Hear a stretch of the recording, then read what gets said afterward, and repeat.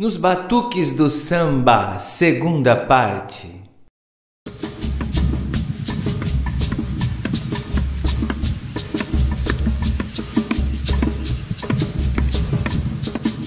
Aô, compadre! Axé, meu rei, senta aí. E esse livro aí, rapaz? Rapaz, estou impressionado com Calunga Grande. Aqui nesse livrinho, representado por esse menininho preto, ele tem poderes mágicos. É capaz de levar as baianas dançando dentro do seu pandeiro para o outro lado do oceano, lá no continente africano. Calunga Grande. Olha só. E você sabia que também existe calunga pequeno? Não sabia? Calunga pequeno é representada por uma boneca preta, uma bonequinha que no cortejo do maracatu é levada para proteger as pessoas de desavenças e até de doenças. Mas não é? Tem tanta coisa bonita pra gente aprender com os povos africanos que a gente nem imagina. Calunga grande!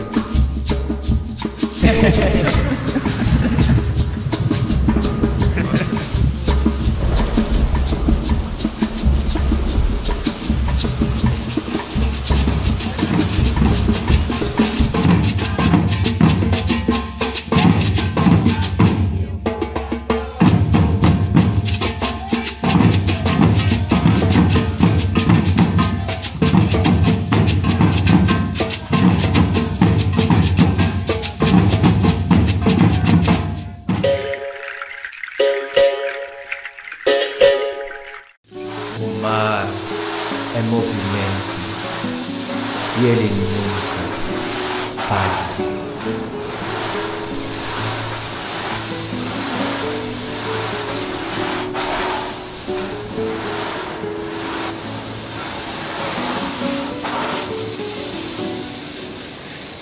é como movimento que povos da África pensam a vida.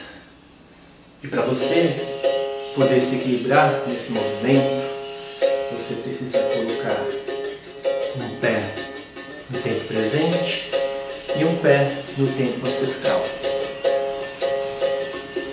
Nesse balanço, essa ginga que nasce com ânsia de liberdade, que a palavra calunga chega ao Brasil.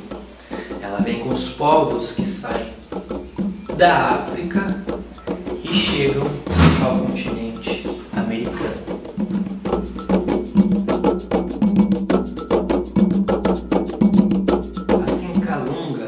para os povos da língua Bakongo, significa um mar.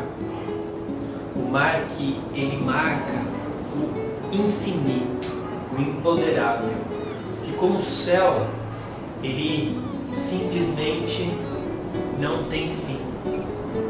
E assim ele esconde seus segredos, seus tesouros e a sua força. Calunga.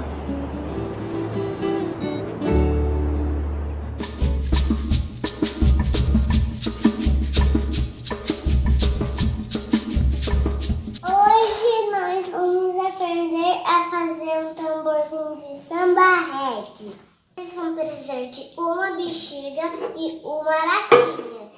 Você vai precisar cortar o bico da, da bexiga para colocar aqui nessa lata.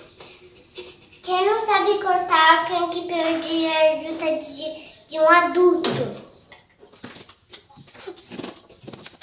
Precisa abrir a bexiga, colocar aqui nesse pote.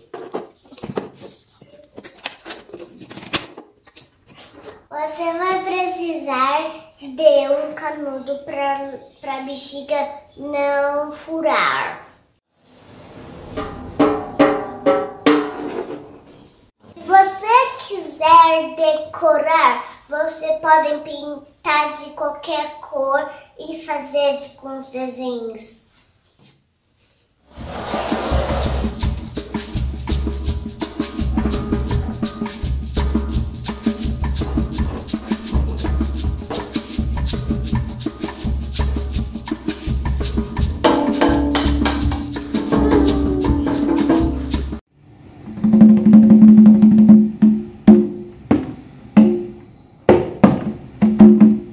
Fala pra gente quais os principais instrumentos que você constrói. É, aí os principais hoje que eu faço é os chequerês, né, que é de maracatu, afoxé.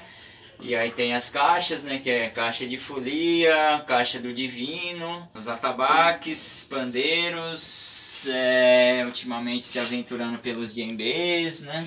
E a minha grande escola foi capoeira, então eu comecei por birimbau, e aí a disseminação da capoeira pelo mundo, é, já tem instrumento que foi levado para o Japão, para a China, para a Europa, quase todos os países. Um último trabalho muito interessante que eu fiz foi um intercâmbio que os meus instrumentos voltaram para África, em São Tomé e Príncipe. E foi muito legal e eu tive a oportunidade de ir num evento em Brasília e encontrar esse pessoal que recebeu esse instrumento lá. Que instrumento é esse aí atrás que está sendo construído, Toshiro? É, esse aqui é um gato, mas esse aqui é o primeiro passo para fazer o tambor do mar, o Ocean Drum, que a gente vai mostrar mais ou menos passo a passo dele aqui. Então aqui ele foi informado há 4 horas mais ou menos, tem duas lâminas de madeira, foi colado.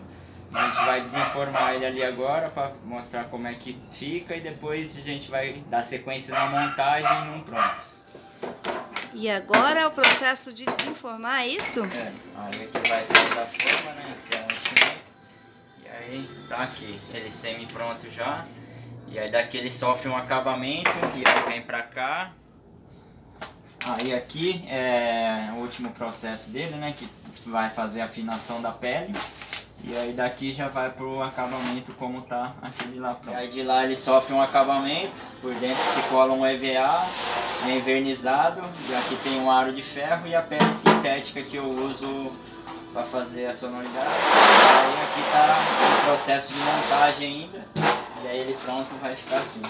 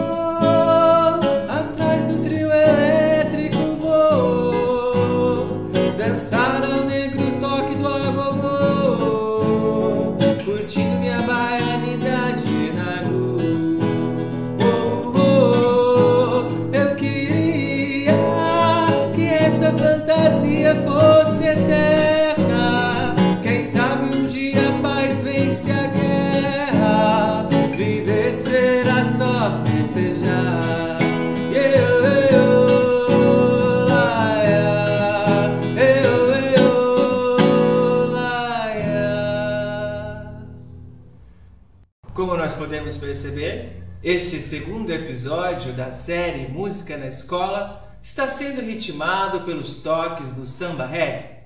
Mas afinal, o que de reggae teria no samba reggae? Para além dos instrumentos eletrônicos, como os da guitarra, teclado, dos naipes de metais dos instrumentos de sopro, de uma expressiva massa percussiva e de um possível balanço no contratempo, as semelhanças do samba reggae da Bahia com o reggae da Jamaica, ao meu ver, estão também muito próximas de conteúdos nem tanto musicais. O movimento de afirmação do protagonismo afro nas Américas influenciou sambistas carnavalescos que transformaram uma das vertentes do samba em uma explosão sonoro-cultural do pensar sentir e entender o mundo a partir de uma visão afro-brasileira. Os blocos de carnaval da Bahia de samba reggae expressam, para além das sonoridades, uma estética afro de musicalizar a vida, na escolha das roupas, dos penteados do cabelo, nas formas de dança e nas diferentes formas de se tocar os tambores. Ficamos agora com uma música autoral que tem em suas raízes Elementos que se aproximam do samba reggae. Encontro você no próximo programa Música na Escola, Conexões África-Brasil, terceira parte.